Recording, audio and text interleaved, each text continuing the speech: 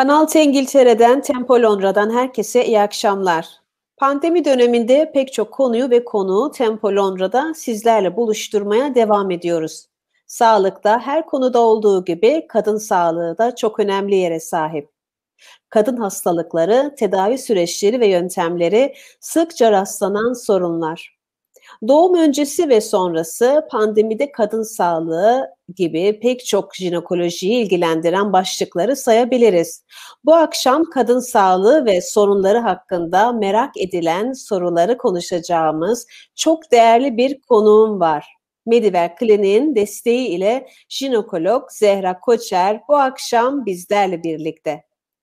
Hoş geldiniz. Nasılsınız? Merhabalar Duygu Hanım. Çok teşekkürler. İyiyim. Siz nasılsınız? Bizler deyiz. Çok teşekkür ediyorum. Tempo Londra'nın bu haftaki konu oldunuz. Medivel'in katkılarıyla Medivel çalışanlarından olduğunu biliyoruz. Onun Medivel doktorlarından ve bugün de sizlere sormak istediğimiz kadın rahatsızlıklarıyla ilgili yine çok önemli konular var. Ama öncesinde bir sizi tanıyabilir miyiz? Doktor Zehra Koçer kimdir? İngiltere'ye ne zaman geldi ve çalışmalarınızı bizlere anlatır mısınız? Sonrasında da bu çok önemli konumuza hemen böyle giriş yapalım. Çok teşekkürler Duygu Hanım. Öncelikle ben teşekkür ederim bana ve Medibel'e bu fırsatı verdiğiniz için. Biz de çok mutluyuz sizi tanımaktan. Ee, özellikle de böyle bir Kıbrıs kanalında olmaktan ayrıca mutluluk duyuyorum ben. Biliyorsun ben de Kıbrıslıyım. Orada çok böyle ailem, arkadaşlarım, dostlarım hepsine buradan selam ve sevgilerimizi yolluyoruz başlarken. Bu arada ee, böleceğim. E, Kıbrıslı doktorlarımızın burada İngiltere'de hizmet hı. vermesi bizler için ayrıca bir e, gururdur. E, çok mutlu oluyoruz gerçekten ve Medibel de çok sevdiğimiz, çok takdir ettiğimiz başarılarla dolu, başarılı çalışmaları var Medibel Klinik ve orada hizmet veriyor olmanız da ayrı bir mutluluktur bizim için. Tüm çalışanları gerçekten çok profesyonel, çok güzel işler başarıyorlar ve sizler de sanırım çok yakın zamanda Medibel'de çalışmaya başladınız ama oraya gelmeden önce e, Doktor Zehra Koçer kimdir bir tanıyalım isterseniz. Tamam, ben çok kısaca böyle kendimden de bahsedeyim. Ee, Kıbrıs'ta doğdum Duygucuğum. Türk Marif Koleji mezunuyum. Daha sonra üniversite eğitimi için Ankara'ya gittim. Gazi Üniversitesi Tıp Fakültesini bitirdim. Ee, sonraki e, eğitim hayatım Zeynep Kamil Kadın Hastalıkları e, ve Çocuk Eğitim Araştırma Hastanesi'nde devam etti. Ee, buradan mezun olduktan sonra İstanbul'da 20 yılı aşkın bir süre kadın hastalıkları ve doğum hekimi olarak e, çalıştım. Genellikle özel hekimlik yaptım. E, özel hastanelerde ve son 3 yılda kendi muayenehanemde çalıştım. Sonrasında böyle biraz da ani bir kararla 3 yıl önce e, kızımızın eğitimine de burada devam etmesini istedik, arzu ettik ve İngiltere'ye geldik. Hmm. Buraya geldiğim ilk bir, bir buçuk yıl içerisinde e, böyle burada işte tekrar hekim olarak çalışabilmek için e, bir takım e, denklik almak için sınavlar, işte belgeler, sertifikalar teslim etmeniz gerekiyor. Böyle biraz uzun bir süreç. E, bunlarla uğraştım, ilgilendim ve sonunda e, GMC Registration ve hekim olarak çalışma lisansımı aldım. Ee, aslında çok samimi bir şekilde söylemek gerekirse e, önceleri burada çalışmak gibi bir niyetim yoktu. Ama sonra işte gerek e, burada yaşayan hastalarım ulaştılar, işte buradaki arkadaşlar herkes şunu söyledi. Hani burada bizim gerçekten böyle e, iyi hekimlere, tecrübeli hekimlere ihtiyacımız var. Hani burada da çalışsanız ne kadar iyi olur. E, dolayısıyla e, bunlardan sonra biraz böyle kafamda hani çalışmaya başlayayım fikri uyandı. Ee, özellikle bu korona dönemi de gelince işte NHS'de yaşanan sıkıntıları gördüm. NHS'in yükü çok ağır. Ee, hastalara randevu verilemiyor. Böyle işte telefonlarla muayeneler oluyor. Ee, dolayısıyla e, bir de tabii hep şunu söylüyordu hastalarım. Hani biz ne kadar İngilizce konuşsak da, iyi konuşsak da insanın e, bir sıkıntı, bir hastalık durumu olduğu zaman kendi sıkıntısını, hastalığını, duygularını kendi ana dilinde anlatması farklı bir şey. E, işte tam bu noktada yolumuz Medivel'le kesişti. Medivel de Tam da bu amaca hizmet etmek için Kuzey Londra'da açılan bir klinik. Ee, ekibimiz çok güzel, ee, çok mutluyum orada çalışmaktan. Çok dinamik, tecrübeli, hasta haklarına ve insan haklarına çok saygılı ve özenli çalışan bir ekip var ki benim için çok önemli.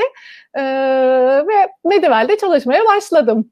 Sağlık söz konusu olduğu zaman insanın kendisini emin ellerde hissetmesi çok güzel bir şey aslında. Çünkü bu başka bir şeye benzemiyor. Bir alışveriş değildir. Hani yabancıdır ama sağlık söz konusu olduğu zaman orada e, güven duymak istiyor. Tabii ki yabancı doktorlarımız, GP'lerimiz de çok değerli burada. Fakat dediğiniz gibi kendi ana lisanımız olduğu zaman özellikle Kıbrıs'tan veya Türkiye'den buraya yerleşmiş şu an hala da İngilizce'de e, konuşmakta zorluk çeken birçok insan var ve bazen sağlık söz konusu olduğu zaman o derine inmeniz gerekiyor. Yani basit basit bir İngilizce konuşmak bir pratik değildir bu.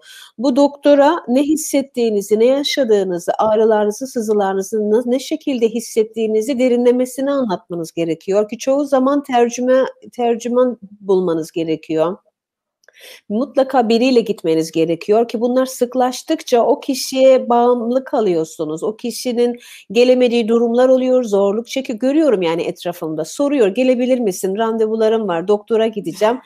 Gerçekten de zorluk çekiyor, sıkıntı yaşıyor. Dolayısıyla Türkçe konuşan bir doktora kendimizi emanet etmemiz, kendimizi teslim etmemiz çok önemli aslında. Çok teşekkür ediyorum sizlere. Evet zorlu bir süreçten geçiyoruz. Siz de tam böyle Covid-19'un üzerine geldiniz. Hem yerleşeyim Aynen. buraya derken yabancı bir ülkeye bir de bu pandemi sürecin içerisinde buldunuz kendinizi. Peki özetle e, özetleyecek olursak Güncel olan COVID-19'daki son durum nedir? Medibel'deki yapılan çalışmalar nelerdir? Bu testlerde bu son dönemde yine bir gelişmeler var. Hızlı sonuç veren PCR testlerimiz var. Bunları da bir izleyicilerimize anlatabilir miyiz lütfen? Tabii, çok kısaca bundan da bahsedelim.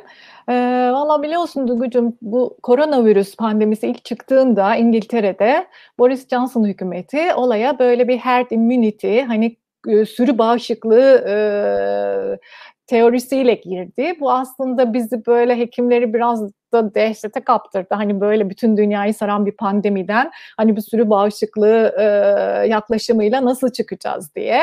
E, neyse ki daha sonra aşıların da devreye girmesiyle böyle biraz tam bir U dönüşü oldu ve burada kaybettikleri prestiji aslında aşılama sürecinde geri kazandılar gibi hissediyorum ben. Çünkü gerçekten e, bütün dünyada belki de en iyi ve en hızlı e, yapılan bir aşılama kampanyası başladı İngiltere'de. Şu anda evet. gerçekten çok büyük rakamlar aşılandı. E, bildiğim kadarıyla yaklaşık e, 16 milyon küsür kişi ilk dozunu oldu. İşte 589 bin kişi ikinci dozlarını oldular.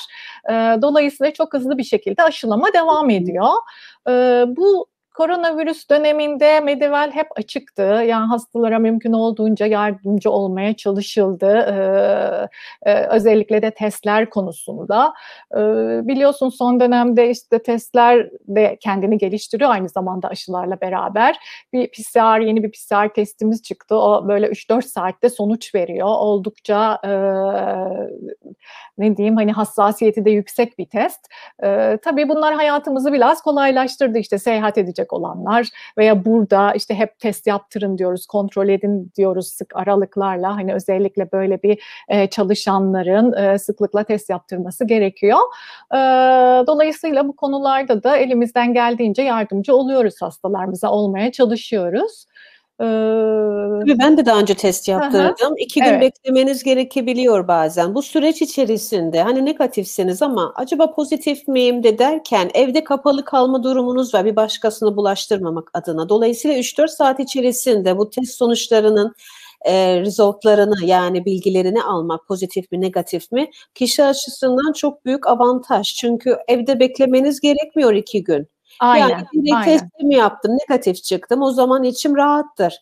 Ama bu süre içerisinde test yaptırdı, iki gün beklemesi gerekiyor ama bekleyemiyor, sabırsız dışarıda dolaşıyor. Bir başkasını da bulaştıracaktır, başkalarına zarar verecektir. Nitekim bence bu kadar insanın bu kadar e, salgına e, maruz kalması, bu salgının bu kadar çok yayılmasının nedeni de bu oldu. Yani evde kapanmadı belki çoğu. Kendisini korumaya almadı. Pozitif olduğu halde dışarıda dolaştı, temas halinde bulundu diğer kişilerle ve binlerce kişi e, bulaştı, zor durumda kaldı, pozitif oldu ve önünü alamadılar gerçekten de. Aynen öyle. Testlerin önemi de biraz geç anlaşıldı. E, tabii ki yani bunu daha önceden evet. bu kadar hızlı olsaydı tüm bunlar belki de bu kadar büyük ölüm kayıpları vermeyecektik ve bu kadar mağdur olmayacaktık. Sadece Aynen. ölüm değil ekonomik açıdan da birçok kişi e, sorunlar yaşadı. Peki hamile olanlar açısından e, bu e, aşılar m, riskli midir? Yani onlar yaptırabiliyor mu?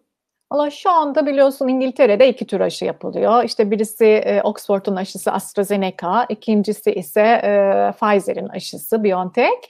Şu anda bizim gebeler için e, yol haritasını belirleyen İngiltere'de RCOG dediğimiz Royal College of Obstetricians and Gynecologists Derneği. Hı hı. E, buna göre şu anda gebelere rutin aşılama önerilmiyor.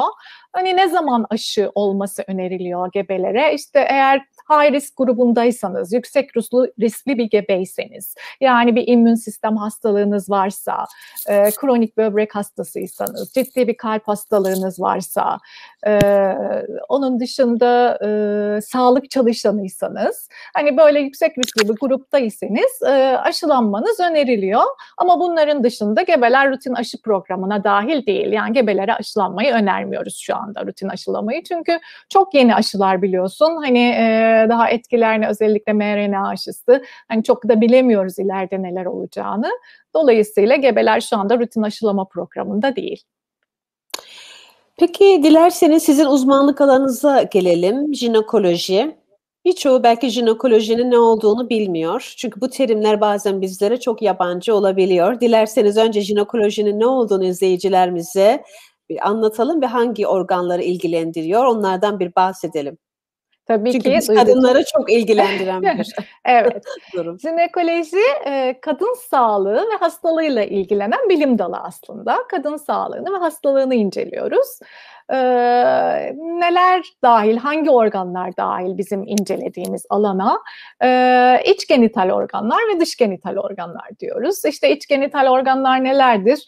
Rahim, yumurtalıklar, rahim ve yumurtalıkları birbirine kanal gibi bağlayan tüpler, daha aşağı doğru gelirsek rahim ağzı, e, vajina, e, vajinanın dış e, ortama açılan bizim dışarıdan gördüğümüz kısmı ise dış genital organlar yani oradaki iç ve dış dudak dediğimiz bölüm ve de anüse doğru perine olarak adlandırdığımız bölüm. Bunlar e, bizim jinekolojik organlarımız ve bunların e, bütün hastalıkları bizim jinekolojinin konusunu teşkil ediyor.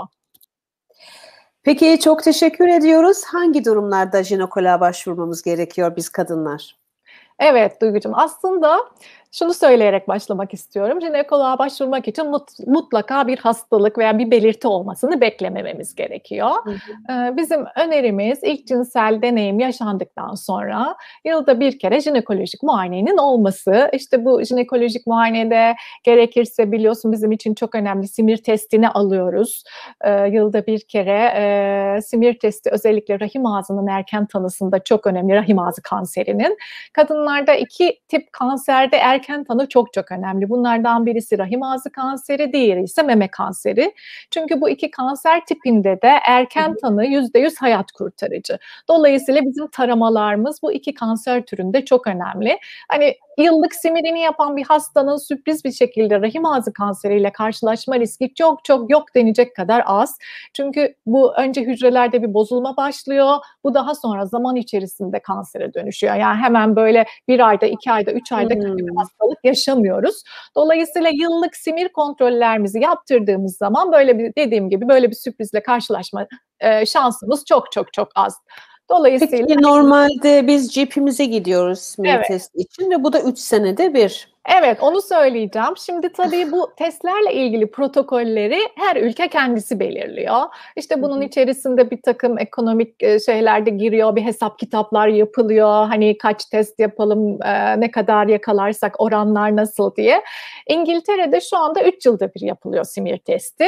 HPV dediğimiz simiri tamamlayan ikinci bir rahim ağzı kanserine neden olabilecek virüs taraması da yapılıyor artık simirle beraber. Co-test diyoruz buna. HPV de 5 yılda bir yapılıyor.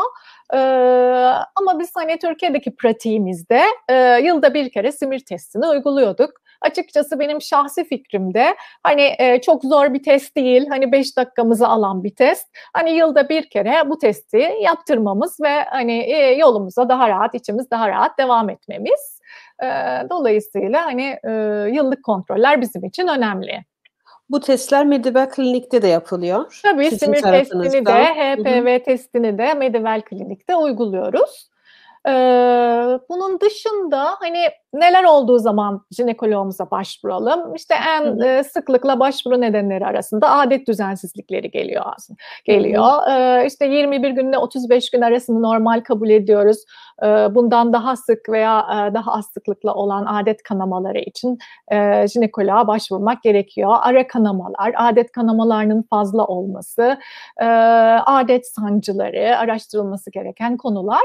E, vajinal akıntılar, e, bu akıntı işte hormonal normal bir akıntı mı yoksa böyle işte sarı, yeşilimtırak, kokulu, kötü kokulu hani bir enfeksiyonun belirtisi bir akıntı mı? Hani e, bunların kontrolü önemli. İşte idrarda yanma olması, idrar yolu enfeksiyonu belirtisi bu şikayet olduğu zaman başvurmalıyız. Yine e, genital bölgede dışarıdan gözümüze çarpan değişiklikler işte sihirler olabilir. Bazen ağrılı sivilce tarzı lezyonlar olabilir. Renk değişiklikleri olabilir. E, bunlar böyle gözümüze çarptığı zaman jinekoloğumuza başvurmalıyız. Kasık ağrıları değişik e, nedenlere bağlı olabilir. Böyle bir uzun süren geçmeyen kasık ağrılarında başvurmamız gerekir. E, yine cinsel ilişki sonrası kanama yaşamamız, rahim ağzında bir yara, bir enfeksiyonun belirtisi olabilir. Hı hı. E, Yine işte böyle doğum kontrol yönteminin seçilmesi, e, çocuk isteyen hastaların belli bir süre bekledikten sonra e, tetkiklerinin ve araştırmalarının yapılması. Genellikle bir yıl diyoruz. Hani bir yıl e, içerisinde eğer çocuğunuz olmamışsa mutlaka ileri tetkik ve tedavinin yapılması gerekir. E, bunun yanında menopozla ilgili şikayetleri oluyor hastalarımızın tabii. Hani bu dönemde Menopoz'a işte... geleceğim birazdan. evet, tamam. biraz daha böyle derinlemesine tamam. e, e, isterseniz. Ben ultrasona dönmek istiyorum. Ultrason evet. yapılıyor hamilelere. Tabii ee, ki. Bunun dışında e, karın ağrısı olan, belki rahimle ilgili, yumurtalıklarla ilgili de yine e, sorunları olanlar için ultrasound yapılıyor herhalde. Yani ultrasound kimlere yapıyoruz? Yani hangi Tabii. durumlarda direkt ultrasound'a başvuruyorsunuz? Ultrason jinekolojik muayenenin bir parçası aslında. Ee, aslında bundan da bahsedecektim. İstersen öyle devam edeyim. Hani jinekolojik Tabii. muayenede ne yapıyoruz? Böyle hepsini Tabii. bir baştan alayım. Hı-hı. Hani e, işte geldiniz hani bir problem var, e, bir şikayetiniz var. İşte e, jinekolojik muayenemiz nasıl başlıyor? Öncelikle Anamnez dediğimiz e, sizin hikayeniz çok önemli. İşte bununla ilgili olarak da Medivel'de oluşturduğumuz kadın sağlığı forumları var. İşte geldiğiniz zaman önce bir kilonuza bakılıyor, e, tansiyonunuza bakılıyor. Daha sonra e, hikayeniz alınıyor. İşte yaşınız nedir, evli misiniz, bekar mısınız, kaç çocuğunuz var, e, hikayenizde bir geçmişte önemli bir hastalığınız var mı, tansiyonunuz var mı, daha önceden geçirdiğiniz ameliyatlar, e, ailenizde önemli bir hastalık var mı? Ki doğum öykünüz, e, kaç doğum yaptınız, ameliyatlı mı oldunuz, normal doğum mu yaptınız? Hep bunlar bizim anamnez kısmında hastayla konuşarak hem de böyle işte muayene öncesi bir e, biraz böyle hastamız da rahatlıyor, dertlerini anlatıyor, e, hikayesini öğreniyoruz. Sonrasında ise bizim jinekolojik masa dediğimiz öncelikle böyle her hastamızın ay burada mı muayene edeceksiniz dediği ama sonrasında da ay o kadar korkulacak bir şey yokmuş çok da kolaymış dediği bir masamız var. E, işte jinekolojik... Görüntüsü korkunç onun. görüntüsü korkunç kendisi değil. E, Valla bu masa bize çok kolaylık sağlıyor tabii. Çünkü burada işte özellikle dış genital organları e, ayrıntılı bir şekilde inceleme şansımız oluyor. İşte bu bölgede herhangi bir e, anormal bir durum var mı ona bakıyoruz öncelikle. Ve eğer simir alacaksak e, mutlaka bu masada alıyoruz. Çünkü rahim ağzını evet. görerek almak gerekiyor. E, işte bu masadaki muayenemizde ne yapıyoruz? Spekülüm dediğimiz e, aletlerimiz var. Şimdi bu e, benim asistanlık dönemimde e, böyle bir asır gibi geliyor bana 20 sene önce falan e, şeyler vardı. Biz hep böyle demir spekülümler kullanırdık. O demir spekülümler kullanılırdı. Sonra steril olurdu. E, oradan gene gelirdi, gene kullanılırdı. E, hani böyle görüntüsü de biraz daha e, korkunçtu onların. Şimdi böyle çok kibar, renkli, değişik renklerde mavi, pembe, şirin, küçük, e, oldukça ince, e, tek kullanım adımlık spekülumlarımız var.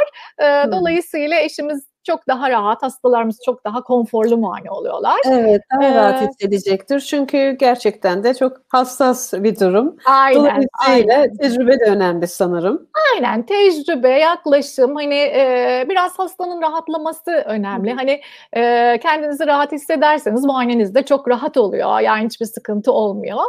Ee, işte bu spekül muayenesinden sonra tabii bir e, yine böyle bir klasik e, mutlaka bir elimizle bir muayene ediyoruz, bir karna bakıyoruz. Hani orada elimize gelen bir kitle var mı? Bir hassasiyet, ağrı var mı? Ee, tabii eskiden yine eski bizim hocalarımız zamanında ultrason yoktu. Ee, bir tek elle muayeneyle işte hastada bir miyom var mı, kis var mı karar verilirdi. Tabii e, bu da bir tecrübe ama tabii bir de risk yani sonuçta görmüyorsunuz gözünüzle gördüğünüz bir şey değil. Hissetmeye çalışıyorsunuz çalışıyorsunuz. Şimdi işte ultrason tam da bu noktada devreye giriyor. Hani bizim şu anda jinekolojik muayenemizin ayrılmaz bir parçası. Hani e, muayenenin sonrasında işte iki şekilde yapabiliyoruz ultrasonu. Biri pelvik ultrason dediğimiz e, işte özellikle bekarlarda, genç kızlarda kullandığımız Hı. karından bakılan ultrason. Bir de vajinal ultrasonumuz var. Transvajinal probla yaptığımız. İşte bu ultrasonda da işte bir rahim içinde bir kitlemiz var mı, miyomumuz var mı, rahim iç tabakamız kalın mı, ince mi, yumurtalıklarımızda bir kistimiz var mı, orada olmaması gereken bir şey gözümüze çarpıyor mu? Hep bunları değerlendiriyoruz ve bizim için çok çok değerli bir yöntem. E, çünkü direkt görüyoruz artık. Yani elimizde hissetmemize gerek kalmıyor. Hani direkt içeriye bakıyoruz ve görüyoruz. E, bir de zararı var mı? e, şunu ekleyeyim. Bir de tabii laboratuvar testleri var. Yani işte bir akıntı, bir problem olduğu zaman bu akıntıdan kültür alıyoruz. Bunlar da muayenemizi tamamlıyor. Ultrasonun zararı var mıdır dedin. Bu da bize çok sık sorulan bir soru. Ultrasonun hiçbir zararı yok. Çünkü ultrason çok farklı bir teknoloji. E, iyonize radyasyon içermiyor hiçbir şekilde. E, ultrasonun kullandığı teknik bizim kulağımızın duyamayacağı yüksek frekanslı e, ses dalgası kullanıyor ultrason. Dolayısıyla hiçbir şekilde ne e, jinekolojik hastalarda ne e, genç yaş grubunda çocuklarda rahatça yaptığımız bir e, tetkik, gebelerde rahatça yaptığımız bir tetkik. E, hiçbir şekilde hiçbir sakıncası yok. Rahatlıkla ultrason olabilirler. Ben e, böyle hemen aklıma geldi. E, çok sıklıkla duyuyoruz işte rahim ağzı kanseri veya yumurtalık hı hı. kanseri. E, meme kanseriyle tabii ki çok fazla rastlanılan, kadınlarda çok rastlanılan bir e, kanser türü di- hı hı. diyoruz, biliyoruz. E, geçmiş yıllara bakacak olursak burada bir düşüş veya yükseliş oldu mu? Yani geçmiş yıllarda daha mı fazlaydı rahim ağzı kanseri veya yumurtalık kanserleri yoksa şimdilik daha fazla muayeneler yapıyoruz da daha çok kontrol altına mı aldık? Böyle bir araştırma yaptınız mı? Son döneme, son dönemlerdeki kanser oranları nedir bayanlardaki bu e, rahimle ilgili? Şöyle Duygucuğum, tabii e, önceden geçmiş yıllarda hani çok fazla e, hastaların ölüm nedenlerini de bilemiyorduk tabii. Yani hani çok fazla tanı e, daha az konulabiliyordu. Şimdi tabii öyle bir avantajımız var. Hani e, artık bu rutin taramalar sırasında özellikle rahim ağzı kanserinde e, çok çok ileri savha rahim ağzı kanseri neredeyse görmüyoruz. Yani çünkü artık böyle büyük şehirlerde yaşayan hastalarımız e, mutlaka tetkiklerini yaptırıyorlar. Yani bir simir tahlilini yaptırıyorlar. İşte meme ultrasonlarını, mamografilerini yaptırıyorlar. E, dolayısıyla e, hani e, artık böyle daha erken tanılar daha çok görülmeye başlandı. Ama böyle geç tanı e, çok çok daha az tabii eski dönemlere nazaran. Evet. Peki e, gebelik planlayan çiftlerimiz illaki bir jinekolojiye gitmesi gerekiyor mu? Jinekolog görmesi gerekiyor mu? Yani ben işte hiçbir sorunum yok. İlk kez deneyeceğim hı hı. ama bir gidip bakılması gerekiyor mu böyle bir şey denemeden önce? Tabii bu da çok önemli bir konu. E, gebelik planlayan e, kadınlarımıza mutlaka öncesinde bir jinekolojik muayene öneriyoruz. Niye öneriyoruz? E, çünkü gebelik sırasında saptanabilecek bir takım hastalıkların e, önceden bu rutin jinekolojik muayene sırasında saptanma, yakalanma şansı var. E, bu da bizim için çok büyük bir avantaj sağlıyor. Hani bu e, saptanan hastalığın tedavisini olup sonrasında gebeliğe başlamaları çok daha güzel bir şey. E, dolayısıyla ne yapıyoruz bu kontrolde? İşte e, tabii e, öncelikle genel bir muayenemizi yapıyoruz. Eğer o aşama o ana kadar simir alınmamışsa mutlaka simir testini yapıyoruz. Hmm. E, rahim ağzında bir yara var mı? Bir şey var mı? Vajin bir kontrol ediyoruz. Hani normal doğum için uygun mu değil mi? Ee, onun dışında bir takım kan testlerimiz var. Bunlar önemli. İşte kan grubuna bakıyoruz. E, çiftlerde RH uygunsuzluğu denilen bir durum olabiliyor. Buna bakıyoruz, bunu kontrol ediyoruz. E, kan sayımına bakıyoruz. Bir kansızlık varsa öncesinde kan takviyesi yapıyoruz. E, işte başka neye bakıyoruz? Bir takım hastalıklar var gebelikte geçirildiği zaman bebek için disk oluşturabilecek. İşte bunlar rubella dediğimiz kızamıkçık ve toksoplazma. Bunların taramasını yapıyoruz. Hani bunlar için bağışık mı? Kişi önceden geçirdi mi? Hatta rubella için eğer geçirmemişse aşı öneriliyor ki gebelikte geçirmeyelim bu hastalığı diye. Demek ki bunlar gerçekten çok önemli. Yani kişi tabii, hamile olmadan önce tabii. bu testleri mutlaka yapsın tabii, ve dediğiniz mutlaka. eğer bu aşılar da gerekliyse bunu yaptığı takdirde bebeğe herhangi bir zarar tabii. olmayacak olacaktır. Tabii. Gerekirse vitamin desteği başlıyoruz. İşte e, duymuşsunuz folik asit veya multivitaminler. E, dolayısıyla bu gebelik öncesi muayene bizim için çok önemli. E, mutlaka hastalarımıza öneriyoruz. Yani gebe kalmayı düşündükleri zaman hani bir muayenenizi olun. Hani bu sizin kendi sağlığınız için çok önemli. Evet, tüp bebek tedavisine de girmek istiyorum. Hangi durumlarda eşler doktor görmesi gerekiyor? Yani bir müddet denedi, e, belki çocuk sahibi olamadı. Ne kadar bir süre geçmesi gerekiyor ve hangi durumlarda doktor görmesi gerekiyor çocuk sahibi olmak için ya da tüp bebek uygulaması için? Evet, genellikle şu anda e, bu süreyi bir yıl olarak belirliyoruz. Yani bir yıl boyunca hastalarımıza, tabii hastalarımız geldi, hani 3 ay, 4 ayda bazen başvuran sabırsız hastalarımız da oluyor. E, hani bir an önce çocuk sahibi olmak isteyen. Hani bunların Geçti bir genel... biraz. evet, bunların önce genel bir muayenesini yapıyoruz.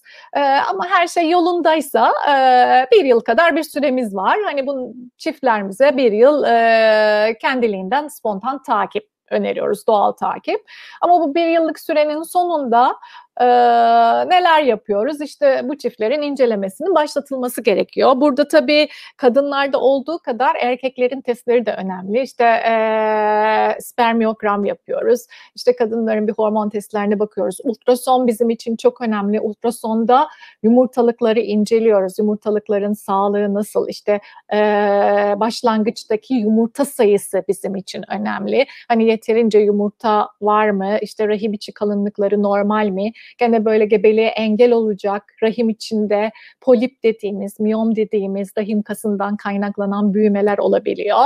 Hani bunların çözümü de e, kolay ve basit oluyor bazen. E, dolayısıyla hani gerekirse ileri tetkik ve tedavi için yönlendiriyoruz. E, hani bir yıldan sonra e, eğer çocuk sahibi olunmamışsa mutlaka ileri tetkik araştırmanın yapılmasını öneriyoruz. Evet, çok güzel. Çok teşekkür ediyorum ve yine biz bayanlar için, kadınlar için önemli olan başka bir konu daha var. Menopoz, korkulu rüyamız. O süreç bazıları için çok e, sert geçebiliyor. E, nedir belirtileri menopozun? Yani yaş ortalamasına göre değişiyor. Kişiden kişiye değişiyor. 45 yaşında menopoza giren de oluyor. 50, 55. Genelde sağlıklı bir kadın için menopoz hangi yaşta görülüyor ve belirtileri nelerdir? Evet Duygucuğum. Menopoz aslında şöyle önce bir tanımlayalım şöyle kısaca. Aslında hı hı. adet kanamasının sona ermesi. Yani bu yumurtalıklarda folikül dediğimiz yumurta içeren kesiciklerin e, tükenmesi anlamına geliyor. Bunlar tükendiği zaman artık adet olmuyoruz. Ortalama Türk kadınlarında menopoz yaşı 51 yaş civarında. Bu 45 ile e, işte 55 yaş arasında değişebiliyor. Hani bunda tabii genetik özellikler, ailesel faktörler, bir takım faktörler var. İşte bazen cerrahi menopoz diyoruz. Hani e, yumurtalıklarınızda bir kitle, bir kist için ameliyat olmanız gerekiyor. Yumurtalıklarınız alınıyor. O zaman da hormonal değil ama cerrahi olarak menopoza girmiş oluyorsunuz. E, dolayısıyla temel olarak e, olay bu yumurtalıklardaki foliküllerin tükenmesi ve östrojenin azalması. Dolayısıyla vücudumuzda östrojen azaldığı zaman bunun azalmasına bağlı bir takım e, sıkıntılar ortaya çıkıyor. İşte e, ne oluyor? Gece terlemeleri olabiliyor, sinirlilik, uykusuzluk hali, çarpıntı, ateş basması. Bu özellikle böyle çok tipiktir. Göğsümüzün, omuzlarımızın üzerinden böyle yüzümüze doğru yükselir. Bir anda ateş basar böyle biriyle konuşurken falan. Sonra tekrar e, geriler. Bu e, rahatsız edici bir his oluşturuyor hastalarımızda. E, ne kadar sürer bu durum? Yani bu ruh halinin bunlar çok tabii kişisel. Yani şimdi menopozla ilgili hiçbir sıkıntı da yaşamayabilirsiniz. E, ama hani bu belirtiler de ortaya çıkabiliyor. Çok kişisel faktörler geçerli. Hani bunlar e, erken dönemde menopozun e, yan etkileri diyelim. Tabii bir de uzun vadede bir takım yan etkiler ortaya çıkabiliyor. Bunlar işte e, çünkü bizim aynı zamanda vulva, vajina, mesanemiz ve üretra idrar yaptığımız yerin dış kısmında östrojen reseptörleri var. Ee, östrojenin azalmasıyla bu bölgede de atrofi dediğimiz incelme ve kuruluk ortaya çıkıyor. Yani ürogenital atrofi ortaya çıkıyor. Bu vajinadaki kuruluk nedeniyle işte vajinada kaşıntı, rahatsızlık hissi, ilişki sırasında yanma, ağrı hissedilebiliyor. Bunlar da uzun vadede et, ortaya çıkabilecek etkileri. Ee, şimdi şöyle bir yaklaşımımız var. Eskiden deniliyordu ki e, menopozda ömür boyu biz bu hormon replasman tedavilerini kullanacağız e, ve işte hani e, bu bizim için gerekli. E, şu, ama şu anda şöyle bir yaklaşımımız var. Hani 50-51 yaş ortalama menopoz yaşı olarak kabul ediyoruz. Hani bu yaştan daha erken mesela bazen 35 yaşında 40 yaşında erken menopoz dediğimiz bir durum ortaya çıkabiliyor. Herhangi bir nedene bağlı olarak işte aşırı stres, farklı nedenler menopoza girilebiliyor. Hı hı. E, bu hastalarımızın mutlaka jinekolojik kontrollerini yaptırıp jinekolojik kontrol artı meme kontrolü e, hani 50 yaşa kadar bir östrojen replasmanı, bir hormon replasman tedavisi almalarını öneriyoruz ki sağlıklı bir şekilde hayatlarına devam edebilsinler. E, ama 50 yaşında veya 50 yaşından sonra menopoza girmiş bir hasta için durum biraz daha farklı. Hani çünkü bu doğal süreç olarak kabul ediyoruz artık. Hı hı. Hani eğer siz gayet sağlıklıysanız, çalışıyorsanız, bir aktivite yapıyorsanız ve bu menopoz şikayetlerini yaşamıyorsanız hani herhangi bir hormon replasman tedavisi kullanmanıza gerek yok. Ama hani bu e, saydığım şikayetlerden dolayı bir rahatsızlık duyuyorsanız, böyle şikayetleriniz varsa o zaman yine işte jinekolojik kontrolünüzü yaptırıp işte bir takım testlerimiz var. Kan testlerine bakıyoruz, hormon testlerine bakıyoruz. İşte e, biraz önce bahsettiğimiz gibi simirimizi, meme ultrasonumuzu, mamografimizi yaptırıyoruz. Ek bir risk faktörümüz yoksa, bir pıhtılaşma bozukluğumuz, işte e, damarlarda e, bir damar tıkanıklığı problemi, herhangi bir ek risk faktörümüz yoksa bu hastalarımıza tetkiklerini yaptıktan sonra e, şikayetlerinin geçeceği dönem, en kısa dönem diyoruz. Bu genellikle menopoza girilen ilk iki yılı kapsıyor.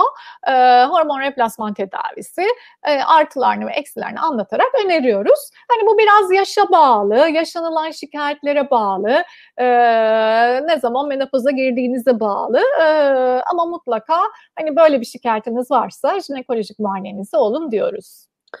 Bunlar gerçekten çok önemli konular ve üzerine uzun uzun konuşmamız gereken konular. Aslında bugün sizinle ilk programımızdı ve bu başlıkları böyle hepsini izleyicilerimize aktarmak istedik. Çok da güzel e, bilgilere değindiniz ama gerçekten menopoz olsun, diğer e, rahim ağzı kanseri olsun ve diğer çocuk sahibi olmakla ilgili tüp bebekle ilgili başlıklar bizim böyle yelpazeyi daha da açmamız ve daha fazla irdelememiz, daha çok bu konularla ilgili konuşmamız gereken konular aslında ama süremiz çok kısıtlı olduğu için ve bugün hızlıca geçtik. Hem sizi tanıdık Medibel Klinik'te e, göreve başladınız. Çok da değerli bir e, doktorumuzu kazandırdık Medibel Kliniğe ve İngiltere'deki Türkçe konuşan ve yabancı konuşan kesime de eminim yabancılar da geliyordur sizin kliniğinize. Tabii tabii. Sadece Türkler geliyorlar, değildir. Geliyorlar. Dolayısıyla bizler için çok önemli. Ee, sizlerle irtibat halinde olmamız ve bu değerli bilgileri sizlerden almamız bizim için çok önemli. Ben doğum kontrol haplarına da girmek istiyorum. Süremiz çok daraldı ama bu önemli. Bunlar çok gerçekten de çok önemli bilgiler. Yan etkileri var mıdır?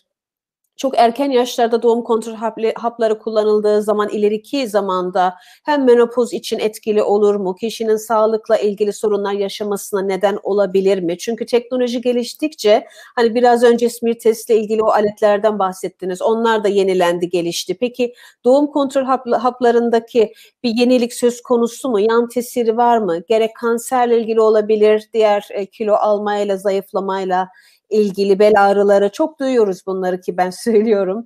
Belki sizler de ekleyeceksiniz buna ek olarak bir şeyler daha ama doğum kontrol haplarının yan etkileri nelerdir veya var mıdır?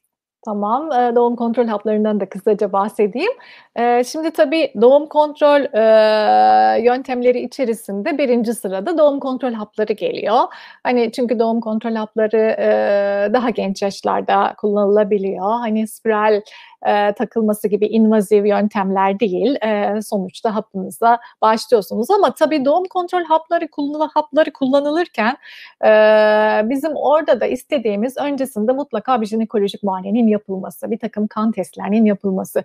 Burada açıkçası e, yapılıyor mu çok emin değilim ama biz e, işte kendi pratiğimiz içerisinde aldığımız eğitim sırasında da mutlaka bir doğum kontrol hapı başlanmadan önce bir kan sayımını, işte bu karaciğer enzimleri testleri dediğimiz yani çünkü devamlı kullanacağınız bir ilaç. Hani bir takım testlerinizin bir yapılmasını öneriyoruz. Tabii burada şu da önemli.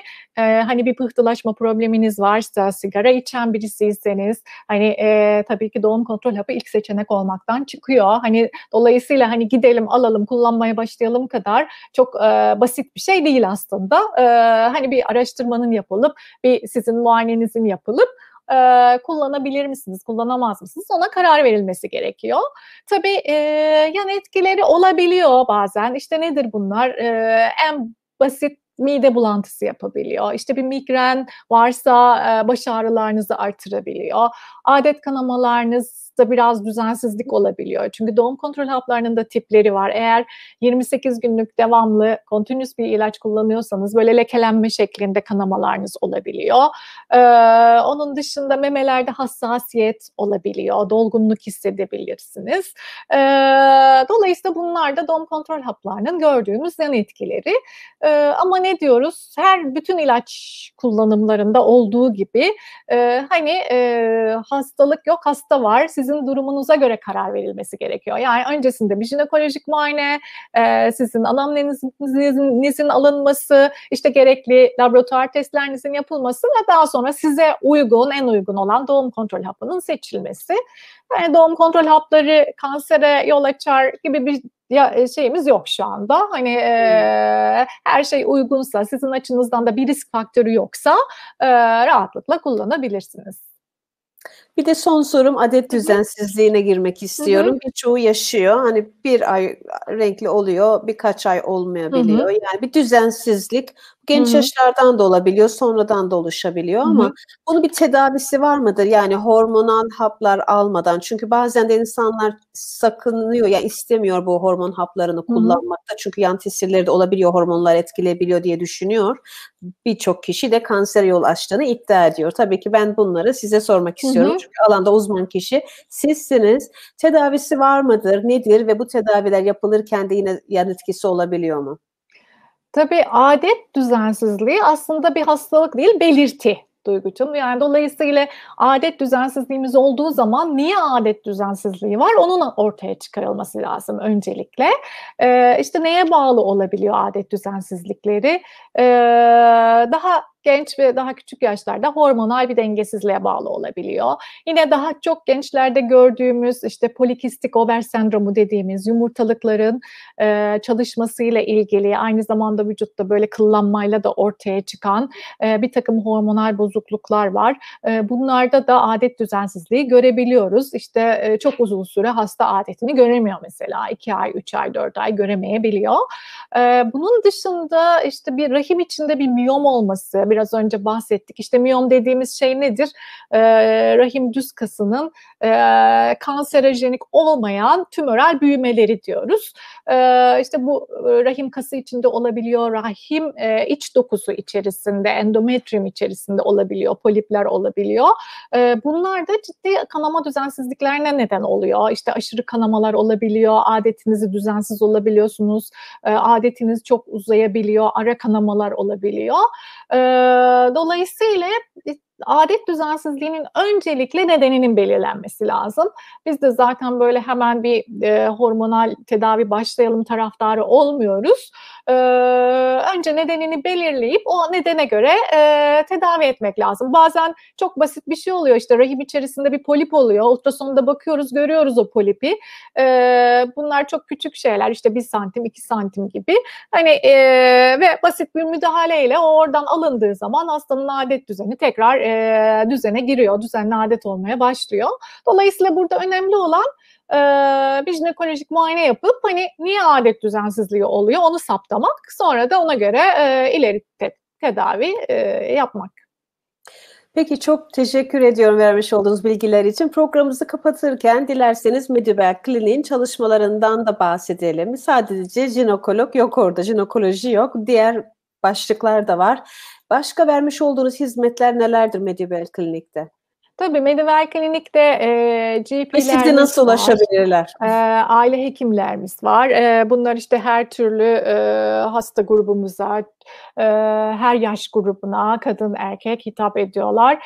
E, ayak sağlığı ile ilgilenen e, arkadaşlarımız var, ayak sağlığı ve bakımı. Bunun dışında e, osteopatımız var. E, böyle işte sitemizde e, bayağı aslında kalabalık bir kliniğiz. E, ultrason e, yapan arkadaşlarımız var. Gebelik ultrasonu yapılıyor. Çok da güzel bir cihazımız var. İşte renkli görüntüler de alınabiliyor.